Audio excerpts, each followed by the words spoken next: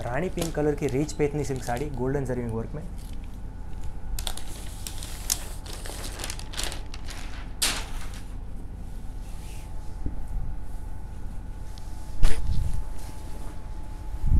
ये है golden जरिंग rich fine finishing pallu beautiful tassel work के साथ।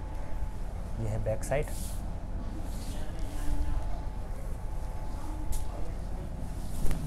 पूरी बॉडी पे गोल्डन जरिंग बुट्टी रहेगी।